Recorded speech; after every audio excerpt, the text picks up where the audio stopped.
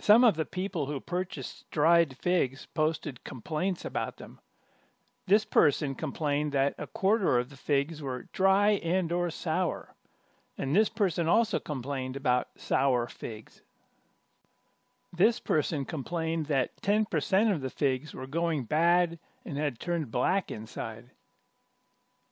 And this person complained that only about one third of the figs appeared to be edible. This person complained that they were a little bitter. This person complained that they were rotten and had a foul taste, and that there were many terrible ones. He posted a couple photos to show that some of them are black inside. If you cut the figs open, you can determine which ones will taste terrible, and if you look closely, especially with a magnifying glass, you can understand why. To begin with, take a look at what a fig should look like. Although there are different varieties of fig, the Smyrna fig, which is one of the most common, should have lots of light colored seeds in a thick, translucent, amber colored gel. Furthermore, when the fig is truly ripe, as it dries, some of the sugar will crystallize on the outside, causing the fig to look like it has a coating of white powder. One person posted a complaint on Amazon that some of his figs had white mold on them, so he discarded those but he was probably assuming the sugar was mold, in which case he discarded the best tasting figs. If the white powder sparkles when light is shined on it, then it is crystals of sugar, not mold. Some mold is white, but mold looks fuzzy or like a mat of spider webs or cotton, and as the mold matures, Little balls of spores appear at the end of the stalks. Mold does not form crystals. If you look closely at the inside of the figs that taste awful, you'll find black areas. The black stuff is mold, but it's usually difficult to identify it as mold because the figs have been squashed as a result of being dried and processed for sale. That presses the mold into the gel of the fig, which makes the gel look black. However, if you open enough of the bad tasting figs, you'll eventually find some areas where the black mold has not been pressed into the gel, and you can see the fibers that resemble cotton or spider webs, and you can see the stalks that have a tiny ball of spores. The stalks and balls of spores are difficult to see without a magnifying glass or by enlarging a photo or video of them. They look gray when they are dry and become black when pressed into the gel of the fig. It seems that 10 to 40 percent of the figs that I have purchased have had mold in them, and since nobody seems to get sick from these figs, the mold must not be dangerous. It just tastes terrible. Another reason that figs have a terrible flavor is because of insects. Many figs have lots of little amber colored cylinders. That is the poop of insects. You will also find the larva that created that poop, although the processing and shipping will often squash them and break them into pieces. If there's only a couple small larvae and only a couple little pieces of poop, you probably won't notice, but some of the figs are so loaded with insects and their poop that you're likely to notice an unpleasant flavor.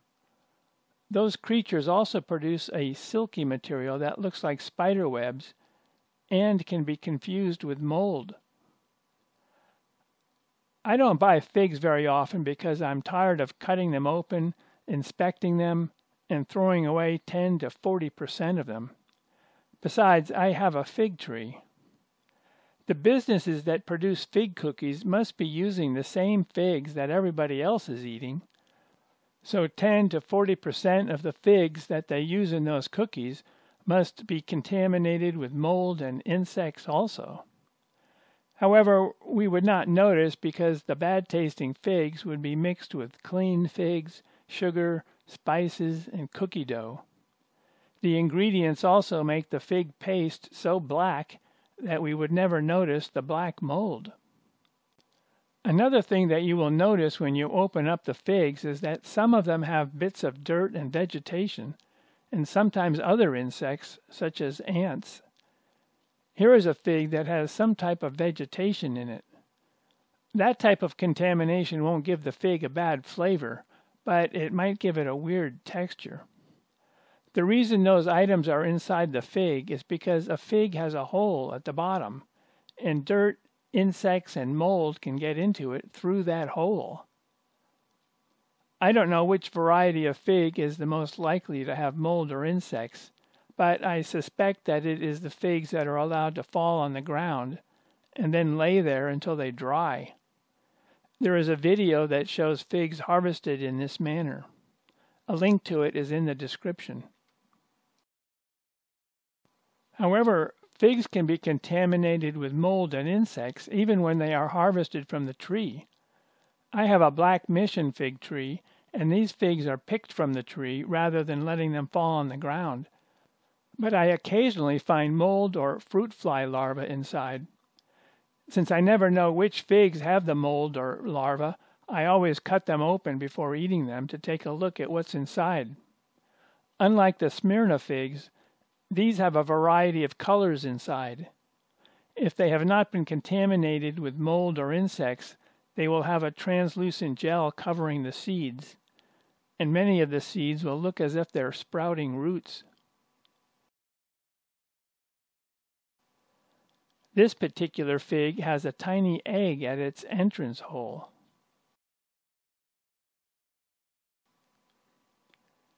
Incidentally, the area where I live doesn't get hot enough in the summer for figs to reach their maximum ripeness.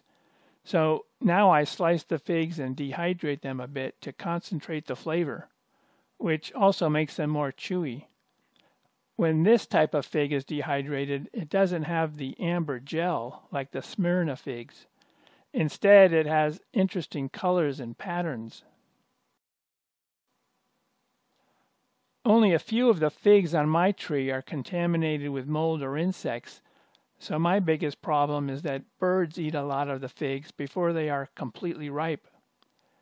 Since mold and insects are a problem with 10 to 40 percent of the Smyrna figs, and birds are also a problem, it would be nice if we could grow figs in hermetically sealed greenhouses.